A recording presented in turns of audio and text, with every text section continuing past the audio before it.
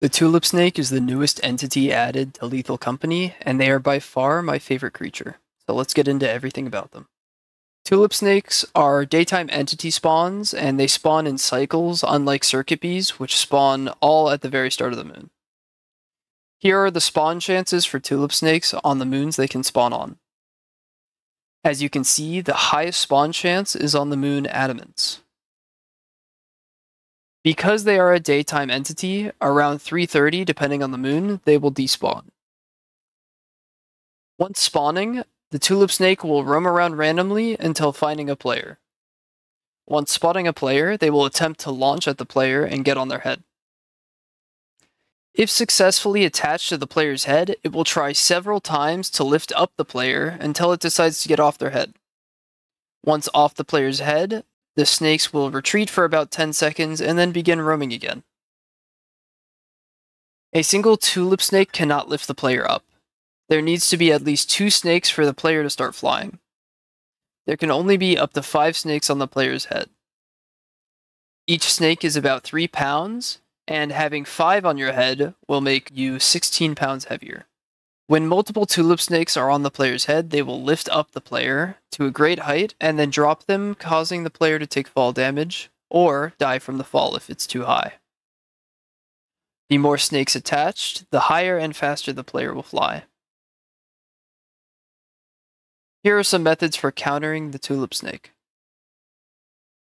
You can easily dodge their lunge by stepping to the side. Killing a tulip snake only takes one hit from a shovel, knife, or other weapon. Just like Snare Flea, these snakes can be hit off your head with just a swing. Unlike Snare Flea, they do not make you drop your items when they attack you. If you cannot avoid them, you can use them to your advantage. When you have more than one tulip snake on your head and begin flying, you can control your movement just like the jetpack. To stay close to the ground, just hold W or forward and use them to move around. Or, if you want to get to a higher place, just use them to lift you off the ground to where you want to go, and use WASD, like with the jetpack, to control where you head. You can even jump for a swifter takeoff when the snakes begin to fly. Here are some other features about the tulip snake. Your weight does not affect the ability for these snakes to pick you up. As you can see here, I have a gold bar during one flight and no gold bar during the second flight, and I fly at the same rate both times. You can enter the facility with a tulip snake on your head. This does not kill it, and they can open doors to navigate. You can use the jetpack with tulip snakes on your head. Using the jetpack when the snakes are trying to lift you up will cancel their ability to make you fly. Going up a ladder with two or more snakes, trying to make you fly, will shoot you into the air.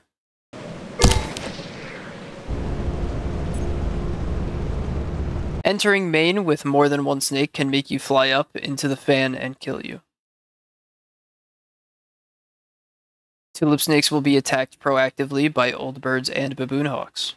Although mentioned that they can pick up objects in the bestiary, they do not actually pick up scrap.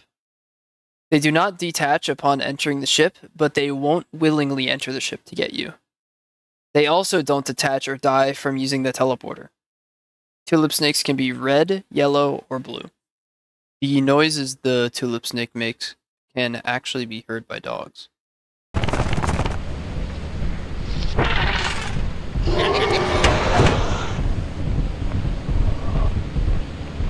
Lastly, stun grenades do not get them off your head, and you cannot get them off your head alone with Zap Gun. If you enjoyed these guide videos, please leave a like and subscribe. It really does mean a lot. And if you feel like getting a little more involved and talking to me, I'm active on my Discord a lot and also stream on Twitch almost every day. That's all for this guide video. Peace.